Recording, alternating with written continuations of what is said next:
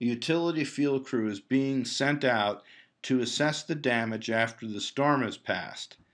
Now in my upper right, you see my location, and here you see four notifications and a damage assessment that I previously created.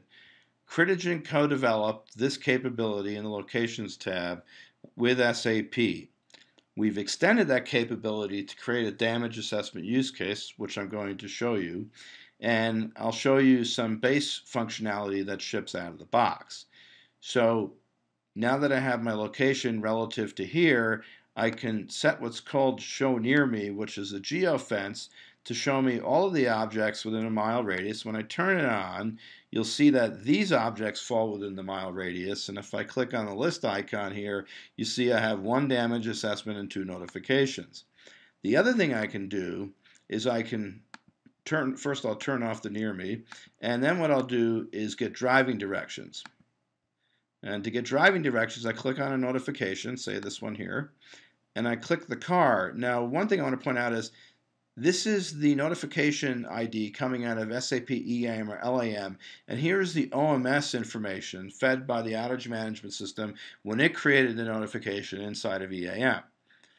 So when I click on the car, Esri will give me the driving directions. There's the route. Click on this, and I get turn-by-turn -turn navigation. I'll exit out. Now that I know how to get to where I need to go, I click this icon and it will zoom in to the area with the notifications and the one damage assessment. So this is a notification that I want to get a damage assessment for. And as I pointed out, here's the ID and OMS number. And what I want to do is I want to see what assets from the utility are, are around me. And these are stored as feature services in, in Esri ArcGIS server or ArcGIS Online. And here are the 12 uh, layers we're pulling in, or feature services. So I'll turn on poles, my service locations, primaries, overhead, overhead, substation, and finally transformer banks.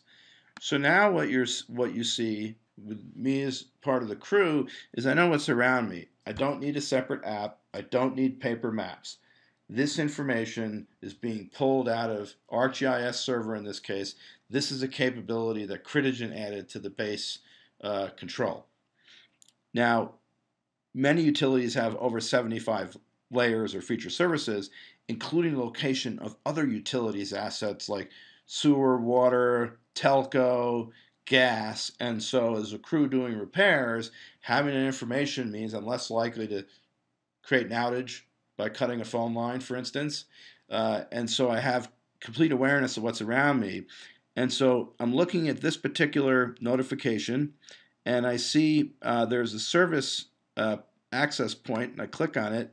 And what you see here are metadata values coming out of ArcGIS server. This ID is out of ArcGIS server, and so is the rest of this information. And I've identified that the service location is damaged because uh, a tree fell on it. And so I want to create a damage assessment. I do that by clicking this arrow, and I click damage assessment. Now look at what's happened here. I have the notification number from EAM.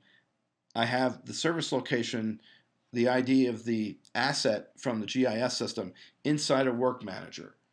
Because I have both sets of information inside of the app itself, when I create the damage assessment, I don't need to remember this stuff. I don't need to key it in. It's automatically put together for me. And these pull down lists are coming out of EAM. So these values are always the most current values retrieved out of SAP EAM. So from a training perspective, training is greatly reduced. Mutual aid is improved because I can use SMP to not only provision the devices, but those crews don't have to memorize anything because all of the values are supplied at the time they're creating the damage assessment. So this was due to wind. Repair code, I need to do some work. It's high priority. And the tree report, I need to uh, uh, remove the tree, and I type in a description. Tree fell on access point or service point remove tree, restore service. So if you look at what's happened here, uh, a field worker is entering very little data. They're selecting from pull downs. So this is the increase in the workflow efficiency because the map is in the app. The map is driving the workflow and also the reduction in errors because I'm not asking the people to memorize things and, and key them in. Final thing I'm going to do is add a photo. Now if they were out with a Toughbook or an iPad they could take a picture. In this case I'll just pick this nice fire and uh, there it is and I'll create the damage assessment.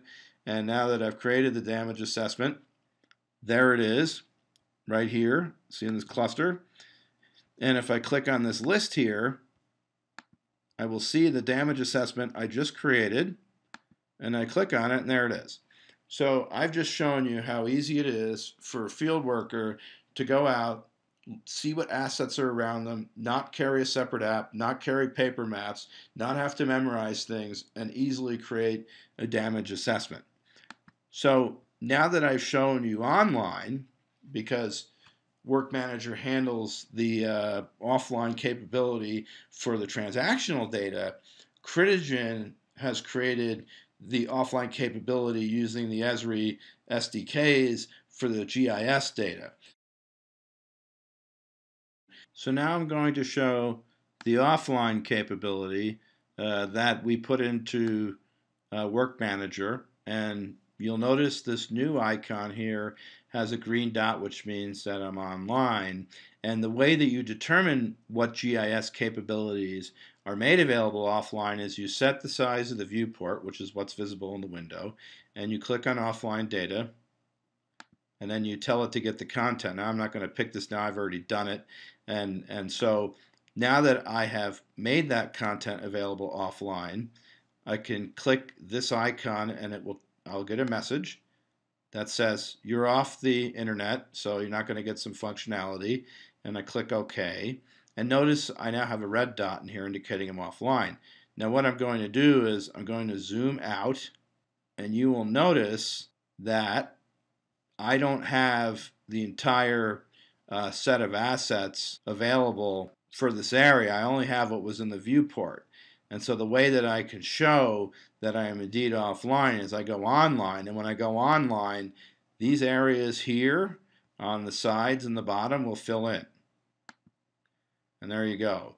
So what I've demonstrated is uh, the capability of caching uh, the feature services on the device so that way, between the transactional data offline capability already in Work Manager and this capability, your crews will be able to work offline.